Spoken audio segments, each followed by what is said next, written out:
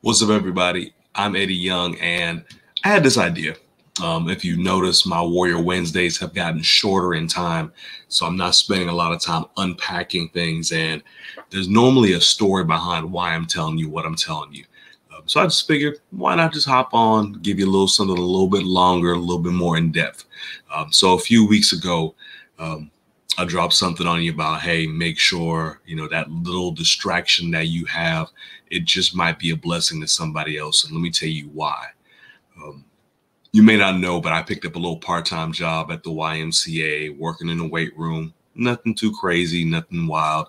Um, and I went in one day, it was my day off on a Tuesday. I had to go in there, check the schedule, get some more things together, make a deposit, and then get to class. Um, my my class is like an hour away, so I had a little bit of time. I had to make sure that I get that I got those things done. Um, so I go in there, and it's one of my older co co-workers. Um, she says, "Hey," and like, "Hey, can you work such and such day?" It's like, "No, I can't do that." Okay, well, what about this day? It's like, "No, I can't do that either." Um, she says, "So the reason I'm asking is because I just found out my brother passed away. Um, he passed away a couple days ago, and we have to go up um, for the funeral. And honestly, I just can't afford to be worried about about here. But if you could have picked up some shifts, that's fine. Um, and as we were talking, I remembered that she had literally lost her mother about a month ago. And as someone who's lost their father, I just remembered those feelings and the the raw emotions at the time. I was um, honestly surprised that she was still there working at that moment, considering the news that she had. And, you know, we talked, we shared a little bit about grief and loss and um, how things change after these major life events. And we shared a little quick moment, and I turned around and looked back at the schedule. Um, and I looked back, I, I turned back to her and I saw her wiping away tears. And even though I had to go, I know I had to get up out of there. I walked over to her, put my hand on her shoulder, and said, It's going to be okay. And it hurts right now, but just keep keep faith, keep believing. Um, whenever you need to talk, just let me know, let somebody know, but it's going to be okay.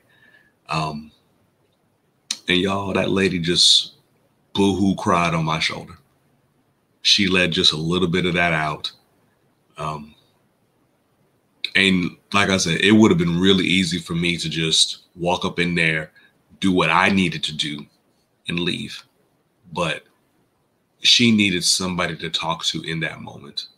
And I'm thankful that God allowed me to do that. And um, the scripture that kind of brought all this up for me was the story of the parable of the Good Samaritan. Um, if you got your Bibles, you know, go to Luke chapter 10, um, the whole section is verses 25 through 37. Um, but just that section about the Good Samaritan itself, um, Jesus picks up um, verse number 30. And it's kind of crazy because um, one of the guys, the guy who actually brings this up, kind of starts this whole thing, he's actually trying to trick Jesus. It's like, well, who is my neighbor? You know, who should I be good to? Who should I be kind to? Um, isn't it crazy how sometimes when people look at the Bible, they're not looking for ways to do what Jesus says to do, but they're looking for ways out of it. Hmm. Imagine that.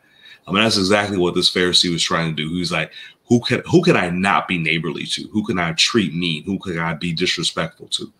But in this parable, Jesus outlines the story of a man who is about the Samaritan. I mean, excuse me, about this man who's traveling along the road. Um, and these roads have lots of twists and turns and robbers and stealers and people who are trying to fight people and trying to hurt people there.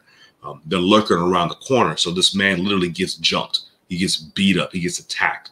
And the guys they they take what they what they want and they leave him for dead. And all these other people pass by and they leave him. They they see him in pain. They see him in agony. They see him hurting, and they just walk by. So we're talking about a priest him, um, a Levite sees him, but the Samaritan, the person who is of the three, probably the least, the lowliest of them, right?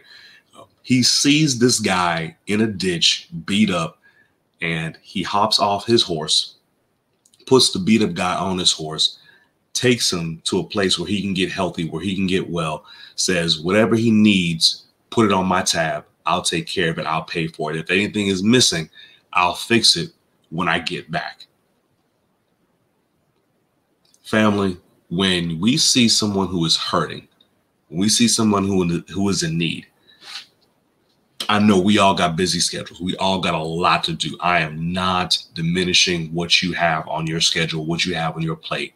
But I'm asking you, please, please, please see how you can help that person who's in need.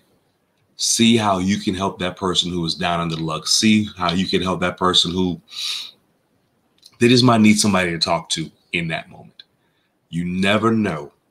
You never know what your brief encounter, what your brief conversation with that person will do for them.